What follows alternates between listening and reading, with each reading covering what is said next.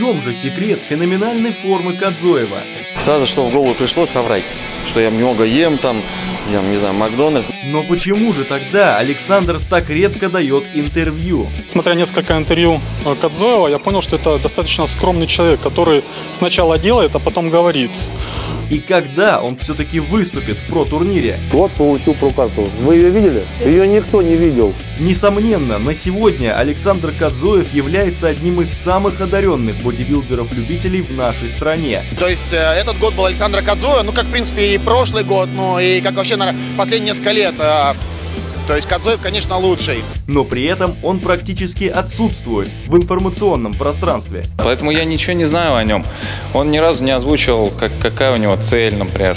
Вот что он хочет добиться в бодибилдинге. Я знаю, что он просто этим занимается, потому что это ему нравится по жизни. И все.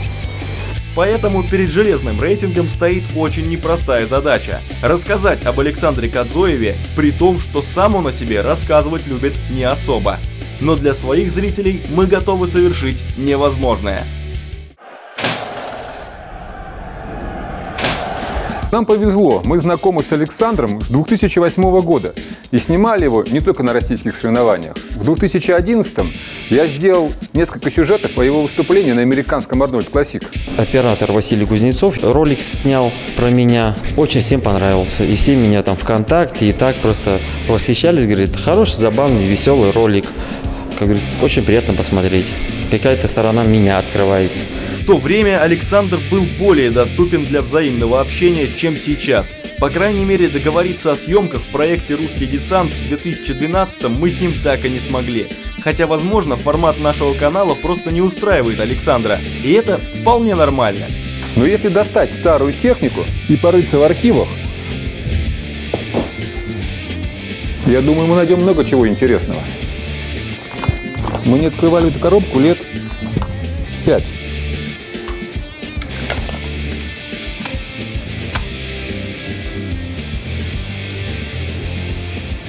Думаю, что будет очень интересно посмотреть, что у нас здесь записано. Александр. Саша, тебе как процесс? Процесс. В процессе? В процессе. Но несмотря ни на что, мы все равно пристально следили за выступлениями этого талантливого атлета и готовы рассказать о нем все, что знаем. Но сначала ненадолго отлучимся в один из магазинов fitnessbar.ru, крупнейшего ритейлера спортивного питания и экипировки для бодибилдинга и фитнеса, и назовем имя победителя нашего зрительского конкурса. Сегодня мы с вами находимся в фитнес-баре у метро Лиговский проспект. И прежде чем я назову имя победителя нашего конкурса, я хочу уточнить у Алексея, у консультанта фитнес-бара, какой продукт пользуется максимальной популярностью в преддверии 8 марта и Дня всех влюбленных. Алексей. Я посоветовал вам прибор от фирмы Sun. Это достаточно мощный бустер тестостерона. Он повышает силовые показатели и способствует улучшению мышечных, мышечного роста, также способствует лучшему качеству сна. Это сейчас одна из самых ходовых добавок в нашем магазине. И наш приз сегодня достается подписчику нашей группы ВКонтакте Павлу Коношенко за его комментарии к железному рейтингу о лучшем бодибилдере прошлого года. А мы возвращаемся к теме нашей программы. Сейчас Александру 34. В этом году он объявил о завершении любительской карьеры и переходе в профессионалы. И это отличный повод вспомнить победы совершенные и порассуждать о его победах будущих. Тем более мы знаем, что даже если ты талантливый любитель, стать звездой про-дивизиона – задача не из простых. Недостаточно быть просто одаренным, да? Очень много факторов, от которых зависит твоя карьера. Это, само собой, одаренность, потенциал, финансирование и суметь под такую свою жизнь построить так, чтобы все было подчинено одной цели. Да? И очень важно все это вот так грамотно выстроить свою жизнь, чтобы в итоге получился результат. Не каждый это может, не каждый это удается. Да и сам мир профессионального бодибилдинга похож на привычный любительский лишь условно. Нет, это не сложнее, это просто по-другому. Объясню, в любителях мы все-таки присутствует дух борьбы. Мы все-таки полагаемся на судейство, а в профессионалах это просто шоу-бизнес. Мы согласны с Вишневским и Федоровым. Простым это перевоплощение для Кадзоева не будет. И готовы порассуждать с вами о пяти факторах, которые могут повлиять на его будущую про-карьеру. Два из них точно сработают в плюс. Последствия одного еще непонятны, а вот над двумя последними пунктами Александру необходимо категорически поработать. Начнем с главного. Для успешной спортивной карьеры у Александра есть и талант, и генетика. Но мы знаем, что для настоящего профессионала этого мало. Здесь на первое место выходит характер и трудолюбие. Это не наши слова. В этом уверен сам Александр. Мне кажется, успех не только в генетике, там, нашей в тренировках, даже расскажите, как накачать руки, ноги, там что-то. Нет, секретов нет в России. Просто упрямство.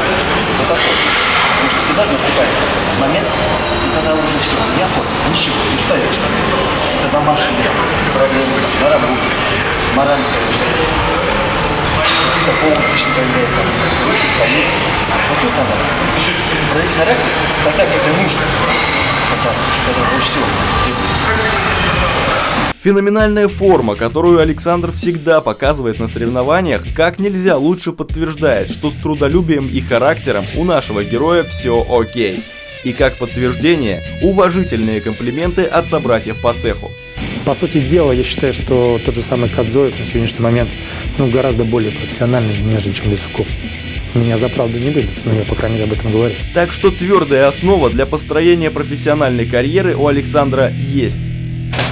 Вторым важным фактором является наличие за спиной сильной команды Sport А если быть еще точнее, то талантливого тренера и бизнесмена Бориса Васильева. Он как бы совместил свой бизнес да, с, с популяризацией нашего спорта, то есть привлекая тренерами как раз вот выступающих спортсменов. Ни, никакая другая сеть так себя не ведет. То есть э, Борис Борисович это уникальный человек для нашего времени, который отдает себя спортсменам а не берет у спортсменов для того, чтобы быть блестящим тренером. Сам Александр также всегда отмечал, что без поддержки тренера вряд ли добился бы таких успехов. Но есть человек, например, как Василий Борис Борисович, мой тренер, который мне очень сильно помогает. Так что в отличие от большинства наших атлетов, на штурм профессионального Олимпа Кадзоев пойдет не в одиночку, что во много раз увеличивает его шансы на успех. А сейчас мы перейдем к неоднозначной теме, а точнее к весовой категории, в которой Александр планирует выступать в продивизионе. Моя весовая категория Ой, правда не хочется говорить. Ну ладно, скажу на самом деле как есть. Буду уступать я до 90 килограммов.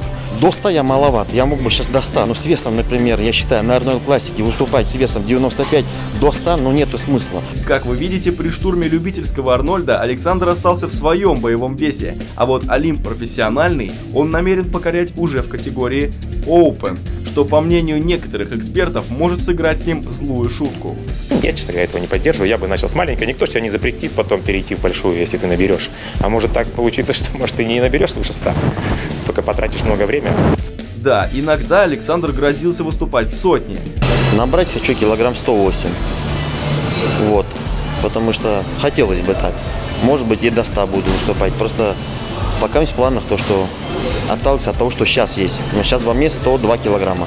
Но все-таки свои главные победы он одержал в категории до 90 килограммов. И вполне логично было бы начать покорение продивизиона именно с этого веса. Э, хотя сейчас Саша Козлов весил 92 килограмма, насколько я знаю, на сцене. И так выглядел. А маленькая категория до 96 килограмм. И я Боря Василию говорю, Борь, представляешь, еще если он 4 килограмма чистых мышц налепит, как он будет выглядеть? Да и с набором массы, как уверяет Александр, у него есть проблемы. Максимально стараюсь веса набрать. У меня с этим больше проблема. Потому что могу качество сделать, а вот вес набрать у меня но с другой стороны, в нынешних доводах команды Кадзоева тоже есть смысл. Категория 212 фунтов пока не может тягаться по популярности с тяжелым весом. А где популярность, там и основные деньги. Нет, безусловно, в бодибилдинге маленькие категории не котируются. Интересно зрителям только тяжелая категория.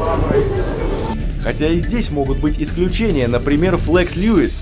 Хотя этот же Флекс Льюис, который мистер Олимпия в маленькой, очень популярный. И говорят, к нему там очереди за автографами очень большие. То есть... Но, возможно, в случае с Александром Кадзоевым премьер Льюиса не самый удачный. Но об этом мы поговорим в заключительной части программы.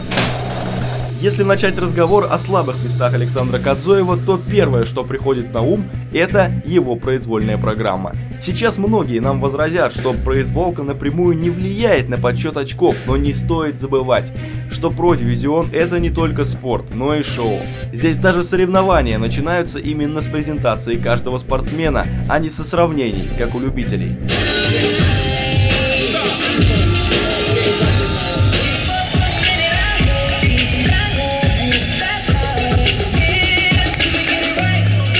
В этом карнавале стилей скупой на эмоции Кадзоев вполне может и затеряться. Да что профи, как пример можно вспомнить его дуэль с Лисуковым на Гран-при Фитнес Хаус, где во многом именно произволка лишила Александра первого места.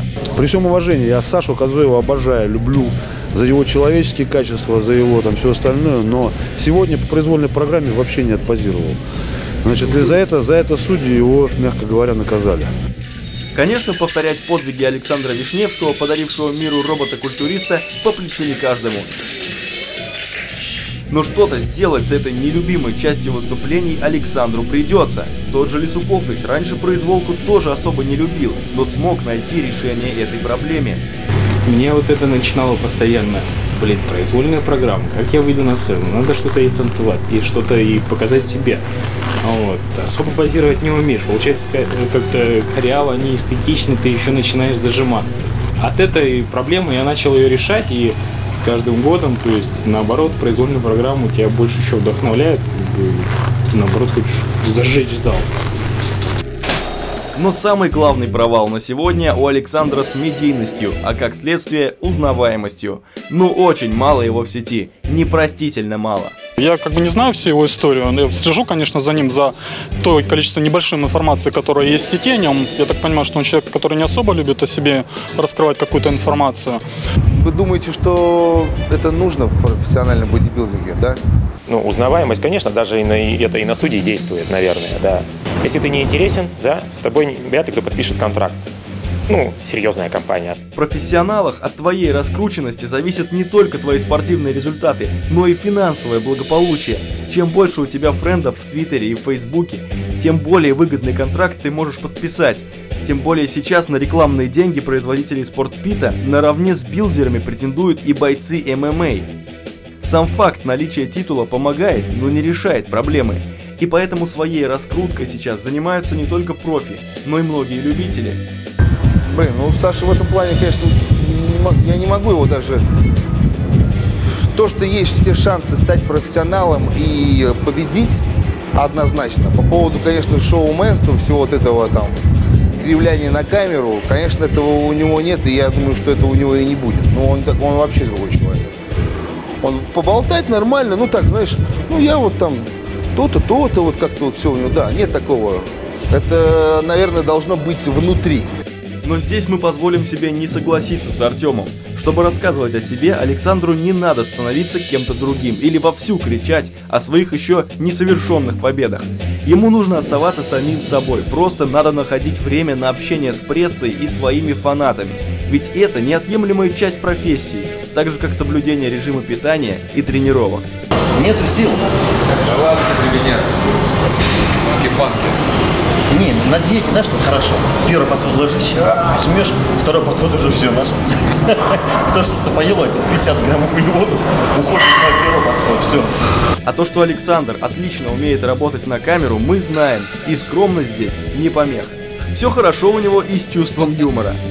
Если что меня задавит, бросай камеру, помогай мне. Как говорится, дело осталось только за малым. Начать и все будет окей. Но если вам вдруг показалось, что мы проговорили все важные вопросы, вы ошибаетесь.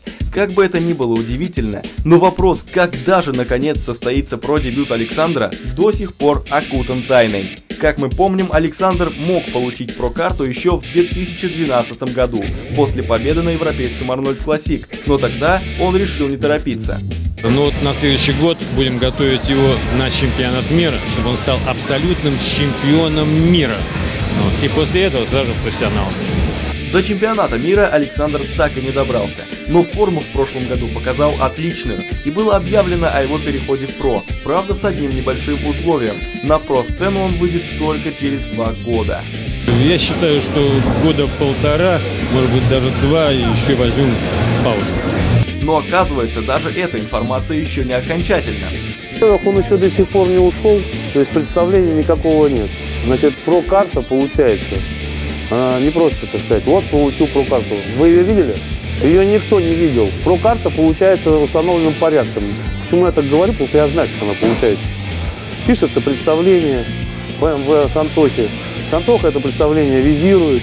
После этого с визы с Антохи, значит, э, Тереза, секретарь и Биби про дивизиона, значит, выписывают за подписью Мэниона про карту. У Саши нет ни, ни, ни представления, э, нет ни, так сказать, ни визы с Антохи, нет самой, так сказать, Терезы вместе с прокартой. Возможно, Александр Тимошенко знает то, что не знаем мы. А с другой стороны, мы видим, что команда Кадзоева уже готовит плацдарм для завоевания Америки. На это указывает и сам Тимошенко. То есть канал этот спотлайфовский настроен уже туда, эти как их титры, там явно не армянский язык, там вроде как на английском, да, что-то есть. Вдувание в сознание масс э, о том, что будет русский такой выступать, э, оно уже началось. Где же фанатам бодибилдинга найти точные ответы на множество вопросов о своем кумире? Эта запутанная ситуация наглядно демонстрирует, что нужно очень серьезно отнестись к пятому пункту нашего сегодняшнего рейтинга. Если ты не говоришь о себе сам, о тебе будут говорить другие, и правдивость этой информации будет проверить негде. Кстати, если вам кажется, что это все ерунда, вспомните, кто является самым известным бодибилдером в нашей стране. И задумайтесь, почему. Российский актер, продюсер и бодибилдер Александр Невский стал победителем конкурса «Мистер Вселенная», организованного Всемирной Федерацией бодибилдинга. Э, Во всех списках Всемирной Федерации бодибилдинга, друзья мои, World Bodybuilding Federation, я стою победителем Мистера Вселенной 2010, 2011 и 2012 года.